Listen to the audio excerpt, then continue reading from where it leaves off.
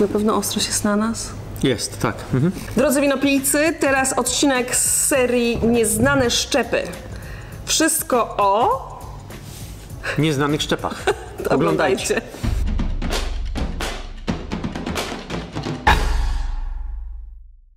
Dziś, e, ponieważ nasze dwa odcinki Argentyna i Chile cieszą, cieszą się tak niesamowitą Oj, popularnością, oh my god.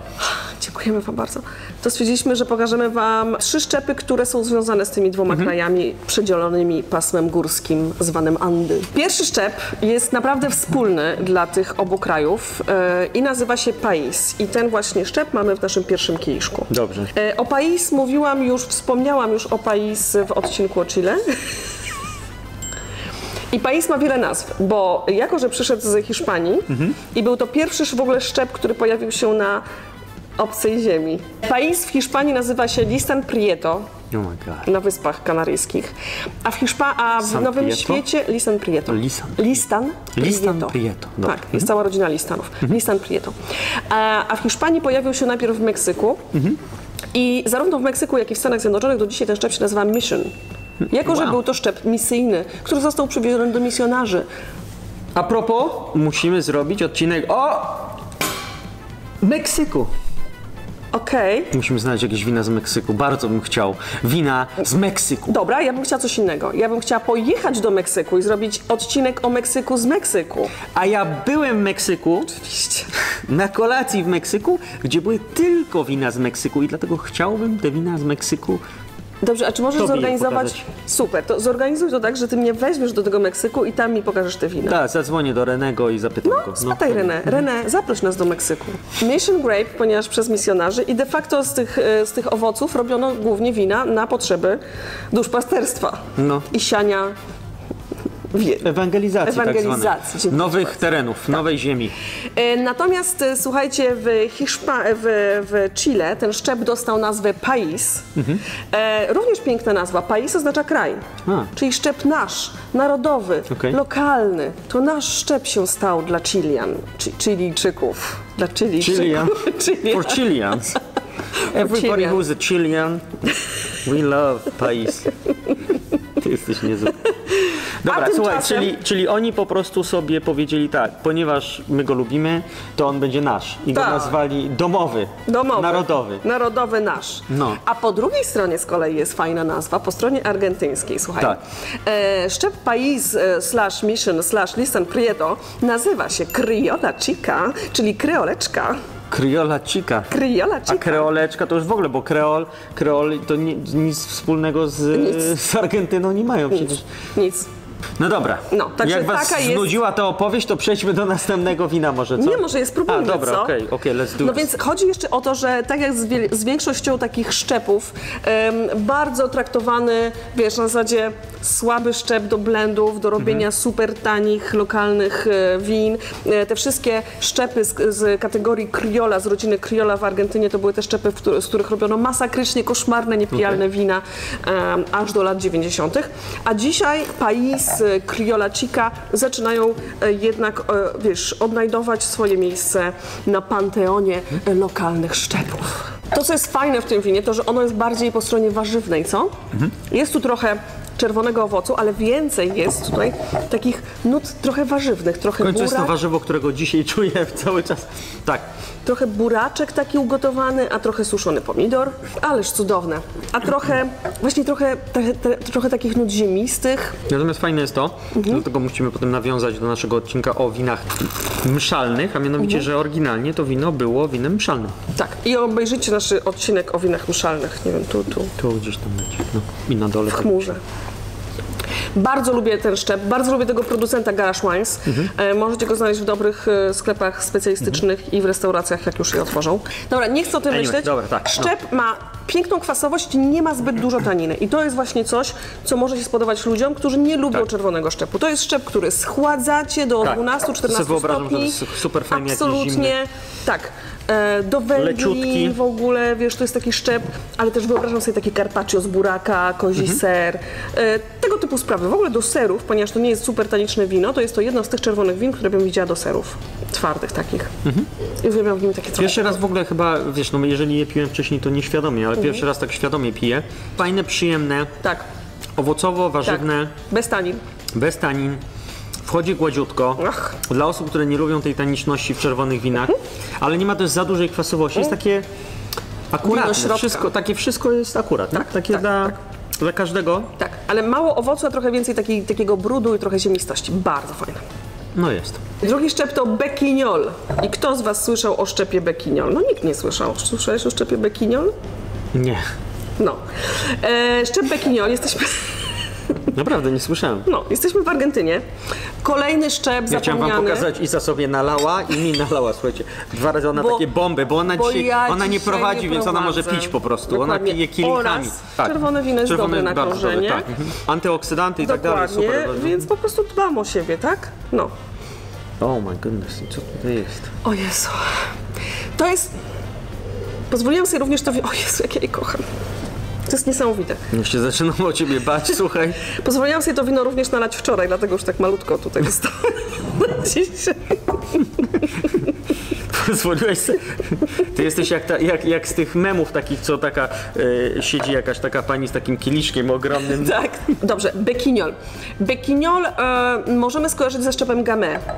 Jest tak samo lekki, e, nie lubi beczki, nie ma zbyt konkretnej, ta, zbyt dużej taniny, mm, wiesz, owocowy. Czerwone to- takie owoce, takie Czerwone trochę, owoce, ale, tak. ale takie delikatniejsze, taka trochę truskawko, poziomka. Truskawko poziomka, tak. Y, trochę rabarbar. Ale to, co jest fantastyczne, wiesz, wczoraj mnie te, to wino przeniosło myślami do mojego dzieciństwa, do czasów, kiedy Po tylu, byłam, po tylu kieliszkach, po tylu kieliszkach, to ja się nie dziwię, że się przeniosło słuchaj, sama. Em, do dzieciństwa. do dzie- czasów dzieciństwa, kiedy, Kiedy słuchaj, byłam, miałem 7 lat i byłem pijana, nie, kiedyś, nie wiem czy pamiętasz, czy u tobie też, tobie też tak babcia robiła, że dawała ci nasączono, wacik No nasączony, skończyć, nasączony no. alkoholem i tak Nie ci to do ust skończyć. przetykała i ty tak leżałaś wtedy cały dzień. I tak spotkałam. Fa- Czy twoja babcia też robiła kisiel do picia? Jak to? No, że kisiel nie pozwalasz mu się zsiąść, tylko z tej torebki kisielu dajesz za dużo wody i w efekcie Mhm. powstaje ci taki rodzaj, Glut taki. taki glut, ale do picia, że on jest, że, że moja babcia go rozrabiała w takim dzbanku, wsadzała do lodówki. I jak były takie upały, to ja piłam sobie ten kisiel, wiesz, Mhm. to taki nie. z malinowy albo z czerwonej porzeczki, takie smaki, wiesz, takie, takie kisielu. I mi Nie, straszliwie... jak kisiel to tylko w barze Ten- mlecznym z tym, z ale witą wciąż jest to śmietaną. super miłe wspomnienie kisielu. Tak. Mi, ten, mi ten smak przypomina kisiel Ja czerwony. Ostatnio dużo jem galaretki, słuchajcie. Z moim młodym człowiekiem jemy sobie galaretki jako deser. Bardzo dobrze, to też dobry nastaw. Owoce i tak dalej. Wysoka kwasowość, mało taniny, dużo owocu. Mm, I taka właśnie Jezu. Ale jaka hiperkwasowość, co? hiperkwasowość, Oż ty. naprawdę hiperkwasowość. Nie, ale to jest taka jakbym, jakbym pił taki sok Taka cytrusowy. jakiś żurawinowa, po- nie? No. Kojarzysz świeżą Tak, żurawinę? tak, żurawinę. Taki sok z żurawiny, taki, ale Tak. takiej świeżej, prawdziwej, nie, Tak. nie taki wiesz, Nie, nie, nie, nie, nie, woda nie, z nie cukrem taka do, do, żurawinowym. do, do, docukrzona, tak. O, wow. No. Ale, ja, ale powiem Ci, że wczoraj jadłam to wino do y, pizzy To jest z taki kozim kompot, do którego ktoś z zapomniał cukru dodać. Pizza, kozi ser, czerwony, Czerwony pieprz. pieprz. Dobra, i trzeci szczep, który chciałam Wam pokazać, również raczej jest Czyli kojarzony... czekaj, tylko posłuchaj, czyli tak, owoce czerwone, delikatne, y, Tak. truskawka, poziomka, Tak. tak, jak musi rabarbar, bo tak Żurawina. kwasowość trochę wychodzi. Żurawina w ustach, Wysoka kwasowość, taka kwasowość, tanina. słuchajcie, że to, No, to musi być do czegoś. Znaczy Tak. to, to trzeba, trzeba coś zjeść do tego. trzeba coś zjeść do tak, tego, no. Tak, ale można zjeść pikantne. Bo ten czerwony pieprz mi tak wczoraj pięknie pasował do tego. Okej, mhm. Dobra. Dobra, i ostatni szczep, śmieszna sprawa, bonarda. Nie, to co chciałam jeszcze powiedzieć o Bekignol, bo to jest śmieszna rzecz. Bekignol powstaje, pochodzi z Francji, był w Bordeaux, e, dzisiaj we Francji Bekignola jest pół hektara, Wow. a w Argentynie 800. Jest pewnie bardzo drogi w dodatku przez to. Myślę, że nie jesteś w stanie go nawet znaleźć. Najdroższy Bekignol 800 na hektarów w Argentynie. O, to chciałam powiedzieć, dziękuję, no już. No cudownie. Dobra, bonarda, również francuski szczep. No. A, em, po francusku e, nazwa brzmi douce noir. Dulce noir, coś z wieczorem? Noir oznacza ciemny, bo zobaczcie na ten kolor. W ogóle kolory tych win. Tak, ten jest bardzo ciemny, to jest taki, no? Sen? Tak. Sen? Co jest sen? Co to znaczy sen? Douce. Douce. Douce noir. Dulce noir. Czyli delikatna czerwona. Okej. Subtelna. Nie, noir to czarne. To subtelna, subtelna czarna. O, Okej, subtelna czarna. Znowu muszę jej poprawić francuski. Ona naprawdę... Jeszcze jest ważna informacja, że niektórzy z Was mogą mi napisać, jest Bonarda we, we Włoszech. Mhm. Jest coś takiego e, jak Bonarda we Włoszech, jest nawet kilka Bonard we Włoszech, one nie mają nic wspólnego z Bonardą e, argentyńską. Ciemny kolor, Mhm. trochę więcej o, w stosunku do właściwie zerowych e, tanin w bekiniolu, no to po prostu więcej tanin e, niż bekiniol, ale mniej tanin niż tanat. Mhm.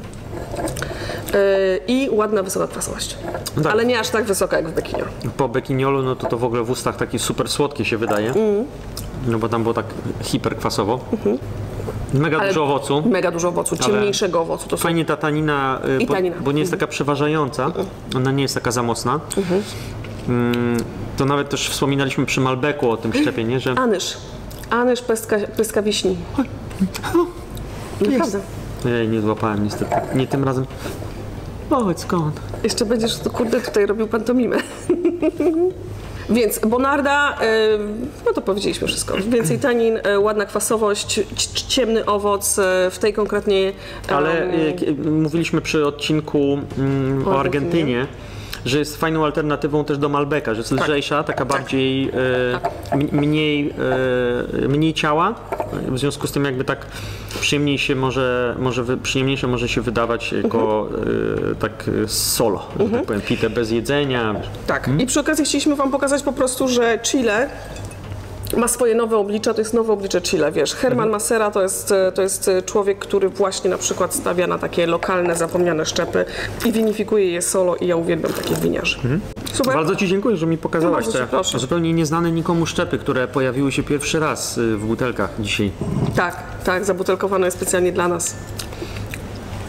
Ja chyba wrócę, No. wrócę do Pais na pewno No, e, i wrócę do Bonardy. aha. A ten bekiniol widzę, że trudny. Bekiniol jest taki, ta kwasowość jest taka, że naprawdę mnie wykręca. Ja uwielbiam. Ja nie, ja nie mam pomysłu, mm, jakby no coś musiało być mega tłustego, tak, żeby to, no może do pizzy, tak jak powiedziałaś, takiej tłustej, z, Damy to jest wino do pizzy, no. takie cztery sery. O! No, ja chciałabym zobaczyć to z czterema serami. Cztery sery, O Jezu, to, żeby to się się przebić. zrobiłam. No, się Ale wiesz, tu nie ma tanin z kolei. Jak jest coś tak tłustego jak sery, to potrzebuje tanin, jeżeli chodzi o czerwone, więc...